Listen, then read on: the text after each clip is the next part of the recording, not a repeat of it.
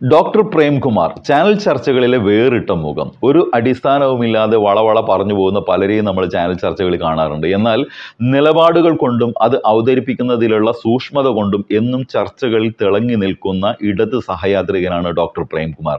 കേന്ദ്ര സർക്കാർ കേരളത്തോട് കാണിക്കുന്ന അവഗണനയ്ക്കെതിരെ ഈ വരുന്ന എട്ടിന് ഡൽഹിയിൽ കേരളം നടത്തുന്ന സമരത്തിന്റെ പശ്ചാത്തലത്തിൽ നടന്ന ഒരു ചാനൽ ചർച്ചയിൽ ദേശീയ തലത്തിൽ കോൺഗ്രസ് എടുക്കുന്ന നിലപാടുകൾക്ക് വിരുദ്ധമായ നിലപാടുകൾ എടുക്കുന്ന കേരളത്തിലെ കോൺഗ്രസിന്റെ നിലപാടുകൾ ഓരോന്നും എണ്ണി എണ്ണി തുറന്നു കാണിക്കുകയും നിശ്ചിതമായി വിമർശിക്കുകയും ചെയ്യുന്നുണ്ട് ഡോക്ടർ പ്രേംകുമാർ. ഒരു സംസ്ഥാനം മാത്രം ഡൽഹിയിൽ പോയി ജന്തർ മന്ദറിൽ ഇരുന്ന് സമരം ചെയ്തത് കൊണ്ടുണ്ടാകുന്ന അതുപോലെ അല്ല. ഒരുപക്ഷെ പല സംസ്ഥാനങ്ങളിലെ മുഖ്യമന്ത്രിമാരും മന്ത്രിമാരും അവിടെ പോയി സമരം ചെയ്യുമ്പോൾ ഉണ്ടാകുക പല പാർട്ടികൾ അതിനെ പിന്തുണയ്ക്കുക എന്നൊക്കെ പറയുമ്പോൾ അതാണ് അത് മനസ്സിലാക്കിയുള്ള ഒരു സമര രീതി തന്നെയാണ്. ഒരുപക്ഷെ ഇപ്പോൾ കേരളവും കർണാടകവും ഇപ്പോൾ മുൻകൈ എടുത്തിരിക്കുന്നത് എന്ന് വേണമെങ്കിൽ പറയാം. സി പി എം കർണാടകത്തോട് കാണിച്ചിരിക്കുന്നത് പോലെ കേരളത്തിലെ കോൺഗ്രസ് പാർട്ടി അതുപോലെ ഒരു നിലപാട് എടുക്കുന്നില്ല എന്ന് കാണുമ്പോൾ വി ഡി സതീശനൊക്കെ ഇവിടെ പറയുന്ന കാര്യങ്ങളൊക്കെ താങ്കളുടെ മുമ്പിൽ ഉണ്ടല്ലോ. കേരളത്തിലെ കോൺഗ്രസ് പാർട്ടിക്ക് എന്ത് സന്ദേശമാണ് സിദ്ധരാമയ്യയും കൂട്ടം നൽകുന്നത്? അതെ കേരളത്തിലെ കോൺഗ്രസ് പാർട്ടിന്റെ പേര് കേരള കോൺഗ്രസ് എന്ന് പറഞ്ഞിട്ട് സുധാകരൻ എന്നുള്ള എസ് എന്നോ വി ഡി സതീശ് എന്നുള്ള വി ഡി എന്നെങ്ങാണ്ട് പേര് മാറ്റേണ്ട സമയം എപ്പോഴോ ആയി. എന്നുവെച്ചാൽ എല്ലാ സമയത്തും നമ്മൾ കാണുന്നതാണ് ഓൾ ഇന്ത്യ കോൺഗ്രസ് കമ്മിറ്റിക്ക് ദേശീയ തലത്തിലുള്ള പ്രശ്നങ്ങളിൽ ചിലപ്പോൾ വൈകിട്ടാണെങ്കിലും ചിലപ്പോൾ സമയത്താണെങ്കിലും ഒരു നിലപാടുണ്ടാവും. കേരളത്തിലെ കോൺഗ്രസിന് കേരളത്തിലെ കോൺഗ്രസ്സുകാർക്ക് വേറൊരു നിലപാടാണ് ഉണ്ടാവുക. അത് സ്ഥിരമായിട്ട് കാണുന്നതാണ്. ഇപ്പം E D S C B I പോലുള്ള ഏജൻസികളെ എങ്ങനെയാണ് ബി ജെ പി സർക്കാർ എൻ ഡി എ സർക്കാർ പ്രതിപക്ഷ കക്ഷികളെ വേട്ടയാടുന്നത് എന്നുള്ളതിനെ പറ്റിയിട്ട് സോണിയാഗാന്ധിക്കും രാഹുൽ ഗാന്ധിക്കും വളരെ കൃത്യമായ നിലപാടുണ്ട്. അവർ വളരെ വിശദമായിട്ട് ലേഖനമായിട്ട് എഴുതിയിട്ടുണ്ടായിരുന്നു. അതേ സമയത്ത് തന്നെ കേരളത്തിലെ കോൺഗ്രസിന്റെ നേതാക്കന്മാര് അന്ന് വി ഡി സതീശൻ അല്ല പ്രതിപക്ഷ നേതാവ് രമേശ് ചെന്നിത്തലയും മുല്ലപ്പള്ളി രാമചന്ദ്രനും ഇ ഡിയെയും സി ബി ഐയെയും വാനോളം പുകഴ്ത്തുകയായിരുന്നു. കാരണം ഇവരുടെ വിചാരം ഇ ഡിയും സി ബി ഐയും വന്നിട്ട് പിണറായി വിജയൻ അറസ്റ്റ് ചെയ്തു കൊണ്ടുപോകുന്നുള്ളതാണ് യുവതീ പ്രവേശനം അതായത് ക്ഷേത്രങ്ങളിൽ എന്താ പറയുക ജെൻഡർ ഇക്വാലിറ്റി എന്നുള്ള കാര്യത്തിൽ സുപ്രീം കോടതി നിലപാടിനെ പറ്റിയിട്ട് എ ഐ സി സിയുടെ നിലപാട് ഒന്നാണ് ഒന്നായിരുന്നു. കേരളത്തിലെ കോൺഗ്രസിന്റെ നിലപാട് വേറെന്നായിരുന്നു. അന്നായിരുന്നു രമേശ് ചെന്നിത്തലയോ സുധാകരൻ അറിയില്ല. രാഹുൽ ഗാന്ധി ഡൽഹിയിലെ കാര്യം നോക്കിയാൽ മതി കേരളത്തിലെ കാര്യം നോക്കാൻ ഞങ്ങൾ ഇവിടെ ഉണ്ട് എന്ന് പറഞ്ഞത്. അതുകൊണ്ട് അവർ ഇവിടുത്തെ എന്താ പറയാ ഇവിടുത്തെ എന്താ പറയാ അവരുടെ കഴിഞ്ഞുകൂടി പോക്കുണ്ടല്ലോ നിത്യനിദാന ചെലവുകൾക്ക് വേണ്ട രീതിയിൽ കാര്യങ്ങൾ പറയാണ് ചെയ്യുന്നത്.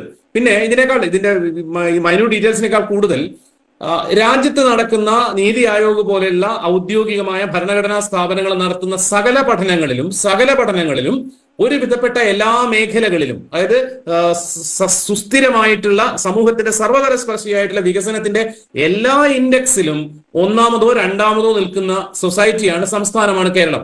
പല കാര്യങ്ങളിലും അത് കർണാടകയേക്കാൾ എത്രയോ മുകളിലാണ്. കേരളത്തിനേക്കാൾ എത്രയോ നാല് അഞ്ച് മടങ്ങ് വിഭവശേഷിയുള്ള സംസ്ഥാനമാണ് കർണാടക. എൻ ശ്രീകുമാറിന് ശ്രദ്ധിക്കാൻ പറ്റുമെങ്കിൽ ഓർക്കാൻ പറ്റുമെങ്കിൽ ഒറ്റ കാര്യം ഞാൻ പറഞ്ഞുതരാം. ഇന്ത്യയിൽ ഹൗസ് ഹോൾഡ് ടോയ്ലറ്റ്സിന്റെ എണ്ണം അതായത് കക്കൂസുള്ള വീടുകളുടെ എണ്ണം ദേശീയ ശരാശരി എന്ന് പറയുന്നത് നാൽപ്പത് ശതമാനമാണ്. നൂറ് വീടുകൾ ഉണ്ടാകുമ്പോൾ നാൽപ്പത് വീടുകളിലാണ് കക്കൂസ് ഉള്ളത് അത് ദേശീയ ശരാശരിയാണ്. കർണാടകയിൽ അത് മുപ്പത്തി അഞ്ചാണ് കേരളത്തിൽ അത് തൊണ്ണൂറ്റി അഞ്ചാണ് കേരളത്തിൽ തൊണ്ണൂറ്റി അഞ്ചാണ് ഒരു ചെറിയ കാര്യമാണ്. അല്ലെങ്കിൽ നോക്കൂ കഴിഞ്ഞ ആറ് മാസക്കാലം കൊണ്ട് പി എസ് സി വഴി സർക്കാർ ഉദ്യോഗസ്ഥരെ നിയമിച്ചിട്ടുള്ളത് കഴിഞ്ഞ ആറ് മാസം കൊണ്ട് ജനുവരി മുതൽ കഴിഞ്ഞ ജനുവരി മുതൽ ജൂൺ വരെയുള്ള ആറ് മാസക്കാലത്ത് കേരളത്ത് പതിനയ്യായിരത്തി ഒരുന്നൂറ്റി നാൽപ്പത്തി ആറ് പേരെ പി എസ് വഴി നിയമിച്ചിട്ടുണ്ട്. ഇത്രയും വലിയ കേരളത്തിന് മൂന്നിരട്ടി വലിപ്പമുള്ള കർണാടകത്തിൽ ആയിരത്തി നാനൂറ്റി തൊണ്ണൂറ്റി നാല് പേരെയാണ് നിയോഗിച്ചിട്ടുള്ളത്. ഇപ്പൊ പി എസ് സി വഴി ആളുകളെ എടുക്കുക എന്നുള്ളത് കക്കൂസിന്റെ എണ്ണമാവട്ടെ പ്രൈമറി സ്കൂൾ തലത്തിലുള്ള സംഗതികളാവട്ടെ ഇനി അത് വിട്ടിട്ട് ഐ ടി എക്സ്പോർട്ട് എടുത്തോളൂ നിങ്ങൾ. ഐ ടി എക്സ്പോർട്ട് നമ്മുടെ ധാരണ എന്താ പറയുക ബാംഗ്ലൂരാണ് ഭയങ്കര ഐ ടി ഹബ് എന്നാണല്ലോ. ഈ കഴിഞ്ഞ ഏഴ് വർഷം കൊണ്ട് കേരളത്തിന് ഐ ടി മേഖലയിൽ ഐ ടി എക്സ്പോർട്ടിൽ ഉണ്ടായിട്ടുള്ള വർധനവ് നൂറ്റി അൻപത് ശതമാനത്തിൽ കൂടുതലാണ്. നൂറ്റി അമ്പത് ശതമാനത്തിൽ കൂടുതലാണ് വർധനവ് ഉണ്ടായിട്ടുള്ളത്. ഏഷ്യയിലെ തന്നെ ഏറ്റവും നല്ല സ്റ്റാർട്ടപ്പ് ഇക്കോസിസ്റ്റംസിൽ ഒന്നായിട്ട് പല ഏജൻസികളും പല തവണയായി കേരളത്തെ തെരഞ്ഞെടുക്കുന്നു. ഒരു തവണ മൂന്ന് മാസം മുമ്പ് നിർമ്മല സീതാരാമൻ പോലും പറഞ്ഞു ഗ്ലോബൽ എഡ്യൂക്കേഷൻ ഹബ്ബായിട്ട് ഇന്ത്യയിൽ ഏറ്റവും നല്ല സ്ഥലം കേരളമാണ് എന്നുള്ളത്. ഇങ്ങനെയൊക്കെ ആണെന്നിരിക്കലും കേരളം എന്നുള്ളത് സോമാലിയാണെന്നും ഇന്ത്യയിൽ മനുഷ്യന് ജീവിക്കാൻ വൃത്തിയോടെ ജീവിക്കാൻ പറ്റാത്ത ഇടമാണെന്നുള്ള മെസ്സേജ് സ്പ്രെഡ് ചെയ്യുന്ന ഒരേ ഒരു സംഘടനയെ ഇന്ത്യയിലുള്ളൂ ഒരേ ഒരു പ്രസ്ഥാനമേ ഇന്ത്യയിലുള്ളൂ ഒരേ ഒരു ഒരു ഒരേ ഒരേ ചിന്താധാരയെ ഇന്ത്യയിലുള്ളൂ. അത് സംഘപരിവാറിന്റെതാണ്. ആ ചിന്തയോടൊത്ത് ആ പ്രചരണത്തിനോടൊപ്പം നിൽക്കുകയാണ് കേരളത്തിലെ കോൺഗ്രസ്സുകാർ. അതുകൊണ്ടാണ് കെ സുധാകരനാണോ K സുരേന്ദ്രനാണോ K P C C president എന്ന് അല്ലെങ്കിൽ K Sudhakaran K P C C president ആണോ കേരള ബി ജെ പിയുടെ പ്രസിഡന്റ് ആണോ നമ്മൾ പലപ്പോഴും കൺഫ്യൂഷൻ അടിച്ചു പോകുന്നത്. ഗവർണർ ഉപയോഗിച്ചുകൊണ്ട് സംസ്ഥാന സർക്കാരുകളെ തകിടം മറയ്ക്കുക അവരുടെ ഭരണഘടനാപരമായിട്ടുള്ള ജനാധിപത്യപരമായിട്ടുള്ള അവകാശങ്ങൾ ലംഘിക്കുക എന്നുള്ള നിലപാടിനെതിരെ സുപ്രീം കോടതിയെ സമീപിച്ചത് കേരളത്തിനേക്കാൾ മുമ്പേ പഞ്ചാബും തമിഴ്നാടും ഒക്കെയാണ്. ഈ കാര്യത്തിൽ എ ഐ സി സിക്ക് കൃത്യമായ നിലപാടുണ്ട്. ബി ജെ പി സർക്കാർ ഇവരെ ഗവർണർമാരെ സംഘപരിവാർ നോമിനികളായ ഗവർണർമാരെ ഉപയോഗിച്ചുകൊണ്ട് സംസ്ഥാന സർക്കാരുകളുടെ അവകാശങ്ങൾക്ക് മേൽ കടന്നു കയറുന്നു എന്നുള്ളത്. കെ സി വേണുഗോപാലിന്റെ നിലപാട് അതായിരുന്നു. കേരള യൂണിവേഴ്സിറ്റിയുടെ സെനറ്റിലേക്ക് ഒരു യോഗ്യതയുമില്ലാത്ത ഒരു യോഗ്യതയുമില്ലാത്ത സംഘപരിവാർ നോമിനികളെ എന്താ പറയാ നോമിനേറ്റ് ചെയ്ത സമയത്ത്. അന്ന് കേരളത്തിന്റെ കോൺഗ്രസ് എടുത്ത നിലപാട് നിങ്ങൾ കണ്ടിട്ടുണ്ടല്ലോ. കെ എസ് യു ഒരു ഒരു ഒരു എന്താ പറയാ ഒരു ചെറിയ പ്രതിഷേധം പോലും നടത്തിയിട്ടുണ്ടായിരുന്നില്ല. അപ്പൊ കഴിഞ്ഞ ദിവസം എനിക്ക് ഭയങ്കര സർപ്രൈസ് ആയി. കഴിഞ്ഞ ദിവസം കൊല്ല എന്താ പറയാ കൊല്ലത്ത് ഗവർണർ പോകുന്ന വഴിയിൽ നിന്ന് കരിങ്കൊടി കാണിച്ചു എസ് എഫ് ഐയുടെ എസ് എഫ് ഐയുടെ പ്രവർത്തകർ. കരിങ്കൊടി കാണിച്ച എസ് എഫ് ഐ പ്രവർത്തകർക്കെതിരെ കേരളത്തിൽ സി പി എം ഭരിക്കുന്ന കേരളത്തിൽ പിണറായി വിജയൻ ആഭ്യന്തരമന്ത്രിയായിരിക്കുന്ന കേരളത്തിൽ അവർക്കെതിരെ വൺ ട്വന്റി ഫോർ ഇട്ട് കേസ് ചാർജ് ചെയ്തു. യൂത്ത് കോൺഗ്രസ്സുകാർ കേരളം മുഴുവൻ കെ എസ് യുക്കാർ കോൺഗ്രസ് പ്രൊഫൈലുകൾ ഇത് ആഘോഷിക്കുകയായിരുന്നു. അവർ പറയുന്നത് എന്താണെന്നറിയോ? പഠിക്കേണ്ടുന്ന ജോലി കിട്ടേണ്ടുന്ന കുട്ടികളെ കൊണ്ടുപോയിട്ട് അവരുടെ ഭാവി എന്താ പറയാ ഭാവി നശിപ്പിക്കുന്ന എസ് എഫ് ഐ പോലുള്ള പ്രസ്ഥാനങ്ങളെ എസ് എഫ് ഐ പോലുള്ള പ്രസ്ഥാനങ്ങളെ നിരോധിക്കണമെന്ന്. ഹൈബി എന്ന് പറഞ്ഞ കോൺഗ്രസിന്റെ എം ആണ്. അദ്ദേഹം ലോക്സഭയിൽ ആകപ്പാടെ സംസാരിച്ചിട്ടുള്ള രണ്ട് കാര്യങ്ങൾക്കാണ്. ഒന്ന് സിൽവർ ലൈൻ കേരളത്തിൽ വരണ്ട എന്ന് പറയാൻ വേണ്ടിയിട്ട്. രണ്ടാമത്തത് എസ് എഫ് ഐയെ നിരോധിക്കണമെന്ന് പറയാൻ വേണ്ടിയിട്ട്. കേരളത്തിൽ ഒരു വികസനവും നടക്കരുത്. കേരളം മനുഷ്യന്മാർക്ക് ജീവിക്കാൻ കൊള്ളാത്ത ഇടമാവണം എന്ന് ആശിക്കുന്ന സംഘപരിവാറിന്റെ ഒപ്പം നിന്നുകൊണ്ട് കേരളത്തിന്റെ വികസന പദ്ധതികളെ തകിടം മറിക്കുന്ന കോൺഗ്രസിനെ സംബന്ധിച്ചിടത്തോളം സാമ്പത്തിക ഉപരോധത്തിനെതിരെ സാമ്പത്തിക അവഗണ അവഗണനയ്ക്കെതിരെ ഡൽഹിയിൽ നടക്കുന്ന സമരത്തിൽ അവർ പങ്കെടുക്കില്ല. അവർക്ക് അത് ഏത് ഏത് തരത്തിൽ വേണമെങ്കിലും അവരതിനെ പൊളിക്കാനാണ് ശ്രമിക്കുക. ശ്രീകുമാർ അത്ര കൂളായിട്ട് അവിടുന്ന് പറയുന്നത് മുഖ്യമന്ത്രിയും മന്ത്രിമാരും ഡൽഹിയിലേക്ക് പോയാൽ നിലവിലുള്ള ഖജനാവിൽ നിന്ന് ബാക്കി കാശ് കൂടെ പോകുന്നുള്ളത്. ഇവർക്ക് ഓരോ സമയം വരുമ്പോഴും എന്താണോ കേരളത്തിലെ ജനങ്ങൾ ചിന്തിക്കുന്നത് അതിന് നേരെ ഓപ്പോസിറ്റ് ആയിട്ട് കാര്യങ്ങൾ പറയുക. അത് എങ്ങനെ സംഘപരിവാറിന്റെയും എൻ ഡി എയുടെയും സർക്കാരിന് എതിരാവാതെ എന്ന് അവർ വളരെ കൃത്യമായിട്ട് ശ്രദ്ധിക്കും. ഇടതുപക്ഷ സർക്കാരിനെതിരെ അത് ജനങ്ങളുടെ സർക്കാരാണെങ്കിൽ പോലും അതിനെങ്ങനെ എതിരാവണം എന്നും ശ്രമിച്ചുകൊണ്ടേയിരിക്കും. സംഘി വാട്സപ്പ് ഗ്രൂപ്പുകളിൽ വരുന്ന സാധനങ്ങൾ കോൺഗ്രസിന്റെ പ്രതിനിധികൾ പൊതുയോഗങ്ങളിലും അല്ലാത്തിടങ്ങളിലും ചർച്ചകളിലും ഒക്കെ പറയുകയും ചെയ്യും. ഇവർ തമ്മിൽ അന്തരം ഇല്ലാതാവുകയാണ് പക്ഷേ ഓൾ ഇന്ത്യ കോൺഗ്രസ് കമ്മിറ്റിയുടെ നിലപാട് അങ്ങനെ ആവില്ല അങ്ങനെ ആവാൻ പാടില്ല. നേരത്തെ രാജീവ് സർദേശായാണ് പറഞ്ഞത് കേരളം ഇന്ന് ചെയ്യുന്നത് നാളെ ഇന്ത്യ കോപ്പി ചെയ്യും എന്നുള്ളത്. ഡൽഹിയിൽ ചെന്ന് പ്രത്യക്ഷ രാഷ്ട്രീയ സമരം എന്നുള്ള ആശയം മുന്നോട്ട് വെച്ചത് കേരളത്തിലെ എൽ ഡി എഫ് ഗവൺമെന്റ് ആണ് സി പി ഐ എം ആണ്. അതിന്റെ പിന്നാലെയല്ല കർണാടകം വരുന്നത് മുന്നാലെയാണ്. കാരണം എട്ടാം തീയതിയാണ് കേരളത്തിന്റെ സമരം ഏഴാം തീയതിയാണ് കർണാടകയുടെ സമരം വരുന്നത്. വി ഡി സതീശനും കെ സുധാകരനും എന്ത് നിലപാട് ഇക്കാര്യത്തിൽ എടുക്കുന്നു ചോദിച്ചാൽ അവർക്ക് എന്തെങ്കിലും കാര്യത്തിൽ നിലപാടുണ്ടെങ്കിലേ നിലപാടെടുക്കേണ്ട പ്രശ്നമുള്ളൂ. ഇങ്ങനെയുള്ള ആളുകൾ വന്നിട്ട് അവർക്ക് ആ സമയത്ത് തോന്നുന്ന പോലെയുള്ള കാര്യങ്ങൾ പറയും. ജനങ്ങൾ ഇന്ന് രണ്ട് തരത്തിലും കോൺഗ്രസ് അതായത് ഒരു ഒരു ഒരു രാഷ്ട്രീയ പാർട്ടി ക്ഷയിക്കുക എന്ന് പറഞ്ഞാൽ അവരുടെ അവരുടെ സംഘബലം കുറയുക എന്നുള്ളതാണ് ഒന്ന്. രണ്ടാമത്തത് അവർക്ക് നിലപാട് എന്നുള്ളതൊന്നും ഇല്ലാതായി പോകുക എന്നുള്ളതാണ്. ഈ രണ്ടർത്ഥത്തിലും എല്ലാ ചർച്ചയിലും പറയുന്ന പോലെ കേരളത്തിൽ ഒരു ഒരു എന്താ പറയാ ഒരു ഒരു ഒരു പ്രോപ്പറായി നിലപാടെടുക്കാൻ പറ്റുന്ന ഒരു പ്രതിപക്ഷം പോലും ആവാത്ത അവസ്ഥയിലേക്ക് കോൺഗ്രസ് അനുദിനം മാറിക്കൊണ്ടിരിക്കുകയാണ്. സാധാരണക്കാരായ മനുഷ്യർക്ക് പോലും ഇത് വളരെ വളരെ വ്യക്തമായിട്ട് മനസ്സിലാവുന്നതാണ്. കൃത്യമായ കണക്കുകൾ വെച്ചാണ് എൽ ഡി എഫ് സംസാരിക്കുന്നത് സർക്കാർ സംസാരിക്കുന്നത്. കണക്കുകൾ വെച്ച് തന്നെയാണ് കർണാടകയും ഈ കേന്ദ്ര അവഗണന എന്നുള്ള യാഥാർത്ഥ്യത്തിനെതിരെ പ്രതികരിക്കുന്നത്. പക്ഷെ ഇവിടുത്തെ കോൺഗ്രസ്സുകാർ അതിനെപ്പറ്റി എന്തെങ്കിലുമൊക്കെയാണ് പറയുക. ക്ലിഫ് ഹൗസിന്റെ മതിലിൽ പെയിന്റ് അടിച്ചില്ലേ? പശുവിന് എന്താ പറയുക ആല ഉണ്ടാക്കിയില്ലേ എന്നൊക്കെയുള്ള പോലുള്ള എന്തെങ്കിലും കാര്യങ്ങളാണ് പറഞ്ഞ് ഇതിനെ പ്രതിരോധിക്കാൻ ശ്രമിക്കുക. ശരി. പിന്നെ ഈ പ്രോമിസ് ഒറ്റ കാര്യം കൂടെ. പ്രോമിസ് കീപ്പ് ചെയ്യുക എന്നുള്ളൊരു കാര്യം ഉണ്ടല്ലോ ഇന്ത്യയിൽ ആദ്യമായിട്ട് ഇലക്ഷൻ മാനിഫെസ്റ്റോ എന്നുള്ളത് തെരഞ്ഞെടുപ്പ് പ്രകടന പത്രിക എന്നുള്ളത് കൃത്യമായി ഫോളോ ചെയ്യുകയും വെരിഫൈ ചെയ്യുകയും ചെയ്യേണ്ട കാര്യമാണ് എന്നുള്ള ഒരു സിസ്റ്റം കൊണ്ടുവന്നത് കഴിഞ്ഞ എൽ ഡി എഫ് ഗവൺമെന്റ് ആയിരുന്നു. പ്രകടന പത്രികയിൽ പറഞ്ഞ കാര്യങ്ങൾ ഇന്നത് ഞങ്ങൾ ചെയ്തത് ഇന്നത് ചെയ്യാൻ ബാക്കിയുള്ള നാല് കാര്യങ്ങൾ. രണ്ടാമത്തെ തവണ അതുപോലെ മറ്റൊരു പ്രകടന പത്രിക കൊണ്ടുവരികയും ഓരോ മാസവും ഓരോ വർഷവും അതിന്റെ ഓഡിറ്റ് റിപ്പോർട്ട് പുറത്തിറക്കുകയും ചെയ്യുന്ന ഒരേ ഒരു സർക്കാർ ഇന്ത്യയിൽ ഇപ്പോൾ നിലവിലുള്ളത് കേരളത്തിലാണ്. അപ്പോഴാണ് പറയുന്നത് ആറു മാസം കൊണ്ട് പറഞ്ഞ നാല് കാര്യങ്ങൾ ചെയ്തിട്ടുണ്ടെന്നാൽ ഏറ്റവും പോപ്പുലിസ്റ്റ് ആയ നാല് കാര്യങ്ങളാണ്. ബസ്സിന്റെ ചാർജ് കുറയ്ക്കും പാലിന്റെ വില കുറയ്ക്കുന്നുള്ള പോലുള്ള കാര്യങ്ങളാണ്. അതല്ല ഒരിക്കലും ഒരു സമൂഹത്തിന്റെ പുരോഗതിയോ സർക്കാരിന്റെ ഉത്തരവാദിത്വത്തിന്റെയോ സൂചിപ്പിക്കുന്ന കാര്യങ്ങൾ. ഇത് കോൺഗ്രസ്സുകാർക്ക് പറഞ്ഞാൽ മനസ്സിലാവില്ല. കാരണം അവരെന്താ പറയുന്നതെന്ന് അവർക്ക് തന്നെ അറിയില്ല എന്നുള്ളതാണ് അവസ്ഥ. ശരി. ഇപ്പോ കേരളത്തിലെ കോൺഗ്രസ് പാർട്ടി എന്തുകൊണ്ടാണ് ഈ കാര്യങ്ങളിൽ ഇങ്ങനെ ഒരു വിമുഖത? മറ്റു സംസ്ഥാനങ്ങളിലെ കോൺഗ്രസ് പാർട്ടിയെ പോലെയോ ഹൈക്കമാൻഡിന്റെ ഭാഗത്തു നിന്നൊക്കെ ഇല്ലാത്തൊരു നിലപാട് ഇവിടെ എടുക്കുന്നത് എന്നത് എല്ലാവരെയും ഇപ്പോഴും അത്ഭുതപ്പെടുത്തുന്നുണ്ട്.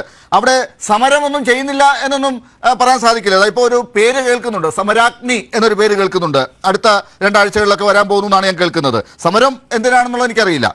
അടുത്തത് അതുപോലെ കേരളത്തിനെതിരെ നിന്നു കഴിഞ്ഞാൽ ലാഭം അതാണ് അതുകൊണ്ടാണ് അങ്ങനെ നിൽക്കുന്നത് എന്ന ചില ആരോപണങ്ങൾ ഉൾപ്പെടെ വന്നിട്ടുണ്ട്. പ്രതിപക്ഷ നേതാവിനെതിരെ പോലും ചില ആരോപണങ്ങൾ നിയമസഭയുടെ ഫ്ലോറിൽ പോലും ഉണ്ടായിരിക്കുകയാണ്. അപ്പോൾ കേരളത്തിനെതിരെ നിൽക്കുന്നതിന് എന്താണ് കാരണം എന്നത് ഇത്രയും ജനദ്രോഹപരമായി ജനങ്ങൾ സമരം ചെയ്യുമ്പോഴും ഇങ്ങനെ കേരളത്തിലെ കോൺഗ്രസ് പാർട്ടി നിൽക്കുന്നത്. കോൺഗ്രസ്സുകാർ പോലും സമരം ചെയ്യുമ്പോൾ പോലും അങ്ങനെ നിൽക്കുന്നത് എന്തുകൊണ്ടാണ് എന്നാണ് താങ്കൾ കാണുന്നത്. ഇല്ലല്ലോ കോൺഗ്രസ്സുകാർ സമരവും ചെയ്യുന്നില്ലെന്നേ. അതായത് എൽ ഡി എഫ് സർക്കാരിനെതിരെ ശക്തമായിട്ട് ബഹുജന പിന്തുണയോടെ ഒരു സമരം കോൺഗ്രസ്സുകാർ ചെയ്ത് കണ്ടിരുന്നുവെങ്കിൽ ഒരു സമരം അതായത് വെറുതെ പോലീസിന്റെ വണ്ടിക്ക് കല്ലെടുത്തെറിയലല്ല വണ്ടിന്റെ മുന്നിൽ ചാടലല്ലാതെ ഒരു പ്രഖ്യാപിച്ച് ഒരു രാഷ്ട്രീയ മുദ്രാവാക്യത്തോടെ ഒരു സമരം കോൺഗ്രസ്സുകാർ നടത്തിയിരുന്നെങ്കിൽ നമ്മൾ അതിനെ അതിനെ അഭിനന്ദിച്ചേനെ. നവകേരള സദസ്സിന് സമാന്തരമായിട്ട് അതിന്റെ തൊട്ടുപിറകിൽ തന്നെ കുറ്റവിചാരണ സദസ്സ് എന്ന് പറഞ്ഞ സാധനം പേര് പ്രഖ്യാപിച്ചിരുന്നതാണ്. കുറച്ചിടങ്ങളിൽ നടന്നു കുറച്ചിടങ്ങളിൽ സ്റ്റേജിൽ അടിയായി കുറച്ചിടങ്ങളിൽ സ്റ്റേജിൽ വാളില്ല സദസ്സിൽ ആളില്ലാതായി. അതിനുശേഷം അത് പിൻവലിച്ചു. അത് പിൻവലിച്ചിട്ട് പിന്നെ പ്രഖ്യാപിച്ചതാണ് സമരാഗ്നി അത് കഴിയേണ്ട സമയം കഴിഞ്ഞു സർ. അതായത് ഡിസംബർ പതിനാറിനായിരുന്നു തുടങ്ങേണ്ടിയിരുന്നത്. പതിനാറാം തീയതി ചർച്ചയ്ക്ക് പങ്കെടുത്തിട്ടുണ്ടായിരുന്നു. ആ പറഞ്ഞ ഷെഡ്യൂൾ പ്രകാരം ഇത് തിരുവനന്തപുരത്ത് എത്തി സമാപിച്ച് മുഖ്യമന്ത്രി പിണറായി വിജയൻ രാജിവെക്കേണ്ട സമയമൊക്കെ കഴിഞ്ഞു. ഇപ്പൊ പിന്നെയും സമരാഗ്നി സമരാഗ്നി എന്നിങ്ങനെ കേൾക്കുന്നുണ്ട്. ഏറ്റവും ചുരുങ്ങിയത് ഒരു സമരം സംഘടിപ്പിക്കാൻ അല്ലെങ്കിൽ രണ്ട് രണ്ടര കൊല്ലമായിട്ട് കെ പി സി സിയുടെ പുനഃസംഘടന കംപ്ലീറ്റ് ചെയ്യാൻ പോലും ഇവർക്ക് ശേഷിയില്ല എന്നുള്ളതാണ്.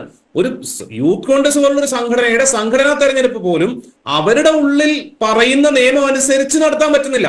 അവരുടെ നേതാക്കന്മാരെ അവരെ ഏൽപ്പിച്ച സർവൈലൻസ് കമ്മിറ്റിയെ ഫുൾ പ്രൂഫായിട്ട് ഇലക്ഷൻ നടക്കുന്നു എന്ന് ഉറപ്പുവരുത്താൻ ഓൾ ഇന്ത്യ കോൺഗ്രസ് കമ്മിറ്റി അല്ലെങ്കിൽ എന്താ പറയുക ഇന്ത്യൻ യൂത്ത് കോൺഗ്രസിന്റെ ദേശീയ നേതൃത്വം ഏൽപ്പിച്ച ആളുകളെ പറ്റിക്കാൻ വേണ്ടിയിട്ട് കള്ള സർട്ടിഫിക്കറ്റ് ഉണ്ടാക്കിയിട്ട് പോലീസിനെയും തെരഞ്ഞെടുപ്പ് കമ്മീഷനെ കേസ് പെട്ടിരിക്കുകയാണ് ഈ ആളുകൾ. ഇതാണ് കോൺഗ്രസിന്റെ അവസ്ഥ. പക്ഷെ ഒരു കാര്യം ശ്രീകുമാർ സത്യസന്ധമായിട്ട് പറയുന്നുണ്ട്. കർണാടകയിലെ അവസ്ഥ ഇവിടുത്തെ അവസ്ഥ പോലെയല്ല. അവിടുത്തെ സർക്കാരിനെ അസ്ഥിരപ്പെടുത്താൻ നോക്കുകയാണ് ബി ജെ പി എന്നുള്ളത്. സർക്കാരിനെ അസ്ഥിരപ്പെടുത്താൻ നോക്കുന്നുണ്ട് B J P N D A Amit Shah എന്നുള്ളത്. സ്വന്തം കാര്യത്തിലേക്ക് വരുമ്പോഴെങ്കിലും ഇവർക്ക് ബോധ്യപ്പെടുന്നു എന്നുള്ള വലിയ കാര്യം. പക്ഷെ കേരളത്തിൽ അത് ഇന്നേ വരെ നടന്നിട്ടില്ല. കർണാടക എന്നല്ല തെലങ്കാനയിലും ആന്ധ്രയിലും കോൺഗ്രസ് ഭരിക്കുന്ന എല്ലായിടത്തും അവരുടെ എം എൽ എമാരെ സൂക്ഷിക്കുക എന്നുള്ളതാണ് അവരെ സംബന്ധിച്ചിടത്തോളം ഏറ്റവും വലിയ പ്രശ്നം. ജനങ്ങൾ വിശ്വാസത്തോടെ കോൺഗ്രസിന്റെ ആളുകളെ എം എൽ എമാരാക്കും പക്ഷെ ആ എം എൽ എമാരെ കോൺഗ്രസിന് വിശ്വാസമില്ല. മുറിയിൽ അടച്ചിട്ട് പൂട്ടിവെക്കുകയാണ്. കഴിഞ്ഞ ദിവസം വാർത്ത വന്നിരുന്നു ബീഹാറിൽ അഞ്ചോ എട്ടോ കോൺഗ്രസ് എം എൽ എമാരെ കാണാനില്ല എന്ന് ഫോൺ വിളിച്ചിട്ട് കിട്ടുന്നില്ല കാണാനില്ല എന്നാണ് അതിന്റെ ട്രോൾ വന്നിരുന്നു. കിട്ടുന്നില്ലെങ്കിൽ വിളിച്ചിട്ട് കിട്ടുന്നില്ലെങ്കിൽ കേൾക്കാനില്ല എന്നല്ലേ പറയേണ്ടത് കാണാനില്ല ഇല്ലെന്നല്ലല്ലോ. കർണാടകത്തിലെ കാര്യം വലിയ കഷ്ടമാണ്. ഇന്നലെ ബി ജെ പി ആയിരുന്നാൽ ഇന്ന് കോൺഗ്രസ് ആയിരിക്കും. വൈകുന്നേരം ആകുമ്പോൾ പിന്നെയും ബി ജെ പി ആവും. ബി ജെ പി ആകുമ്പോൾ ഇതാ അയ്യോ പോയി എന്ന് പറഞ്ഞാൽ തെറി പറയും. ബി ജെ പി തിരിച്ച് പിറ്റന്നാൾ ഇങ്ങോട്ട് വരും. കോൺഗ്രസും ബി ജെ പിയും തമ്മിൽ ഏത് പാർട്ടി എപ്പോ രാവിലെ വൈകുന്നേരം എന്നുള്ള പോലെയാണ് കാര്യങ്ങൾ നടന്നുകൊണ്ടിരിക്കുന്നത്. കേരളത്തിൽ അങ്ങനെയല്ല. കേരളത്തിൽ നൂറ്റാണ്ടിലധികമായി നിലനിൽക്കുന്ന കൃത്യമായ ഒരു ഇടതുപക്ഷ ബോധ്യമുണ്ട്. ഇടതുപക്ഷ നിലപാടുകളുണ്ട്. അത് കേരളത്തിലെ കോൺഗ്രസിനും ഈ അടുത്ത കാലം വരെ ഉണ്ടായിരുന്നു. അതുകൊണ്ടാണ് ഇന്ന് വരേക്കും ഒരു കോൺഗ്രസ് എം എൽ എ പോലും ഒരു കോൺഗ്രസ് എം പി പോലും പൂർണമായും കോൺഗ്രസ് വിട്ട് ബി ജെ പിയിൽ കയറിയിട്ടില്ലാത്തത് സിറ്റിംഗ് എം എൽ എയുടെ എം പിയുടെയും കാര്യമാണ് ഞാൻ പറയുന്നത് എന്നാലും കുറെ ആളുകൾ നിങ്ങൾ സംഭാവന ചെയ്തിട്ടുണ്ട്. ഇപ്പൊ അടുത്ത് നമ്മൾ കണ്ടതാണ് മുഖ്യമന്ത്രി മുഖ്യമന്ത്രിക്കെതിരെ പിണറായി വിജയനെതിരെ മത്സരിച്ച രഘുനാഥും അതേ ദിവസം തന്നെയാണ് ഇവരുടെ കഴിഞ്ഞ ഇലക്ഷനിലെ കാൻഡിഡേറ്റ് ആയിട്ടൊക്കെ ഉയർത്തിക്കിടുന്ന മേജർ രവിയും ഒരേ ദിവസം ബി ജെ പിയിലേക്ക് പോയിട്ടുണ്ടായിരുന്നത്. കഴിഞ്ഞ U D F മിനിസ്ട്രിയിലെ chief whip P C George എന്ന് പറഞ്ഞ കക്ഷി കഴിഞ്ഞ ദിവസമാണ് ബി ജെ പി ചേർന്നത്. എ കെ ആന്റണിയുടെ മകന്റെ കാര്യം പോട്ടെ. ടോം വടക്കൻ മലയാളിയായിരുന്നു. ഗംഭീര എന്താ പറയുക വക്താവായിരുന്നു. ഇപ്പൊ അദ്ദേഹം എവിടെയാണ് നമുക്കറിയാം.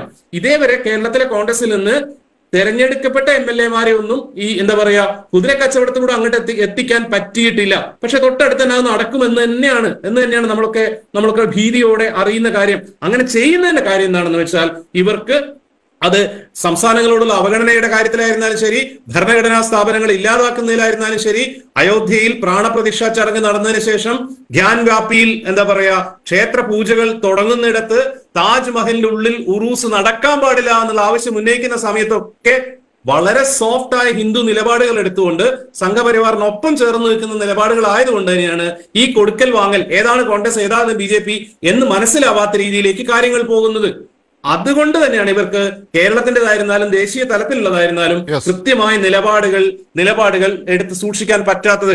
കേന്ദ്ര ഗവൺമെന്റ് എടുക്കുന്ന സ്റ്റേറ്റുമായി ബന്ധപ്പെട്ട കാര്യങ്ങളിൽ മറ്റ് സംസ്ഥാനങ്ങളിലെ കോൺഗ്രസ് കൃത്യമായ നിലപാടെടുക്കും. ഇവിടെ പ്രതിപക്ഷത്താണെന്നുള്ളത് കൊണ്ട് ഏതെങ്കിലും വിധത്തിൽ ഭരണത്തിൽ കയറുക എന്നുള്ള ഒരു ഒറ്റ ഉദ്ദേശത്തോടെ ചെയ്യുന്ന കാര്യങ്ങളായതുകൊണ്ട് ഇവർ ഭരണത്തിൽ നിന്നും ആളുകളുടെ സപ്പോർട്ടിൽ നിന്നും പിന്നെയും പിന്നെയും ദൂരത്തേക്ക് തന്നെ പോയിക്കൊണ്ടിരിക്കുകയാണ്.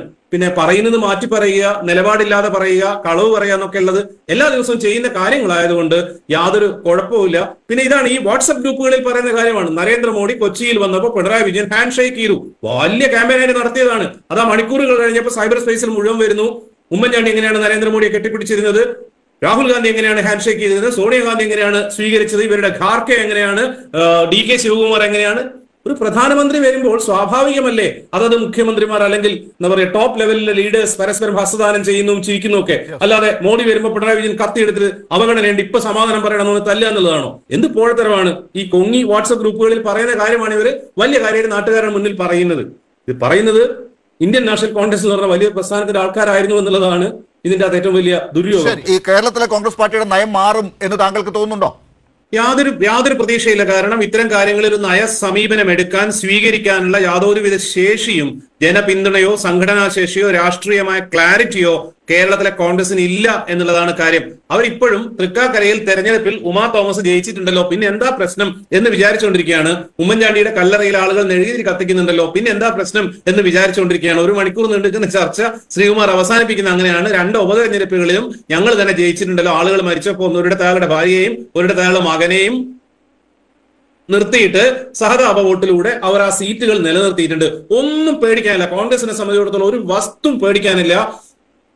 ദിവസം എന്നുള്ള രീതിയിൽ രാജ്യത്തിന്റെ നാനാഭാഗത്ത് എത്ര ആളുകളാണ് ഇവരുടെ കൂട്ടത്തിൽ നിന്ന് വിട്ടുപോകുന്നത് എന്നുള്ള കാര്യം പോലും ഇവർക്കറിയില്ല എന്നുള്ളതാണ് സത്യം. കാൽ കീഴിലുള്ള മണ്ണ് അല്ല സ്വയം തന്നെ ഒലിച്ചു പോകുന്ന കാര്യം കോൺഗ്രസ്സുകാർ അറിയുന്നില്ല.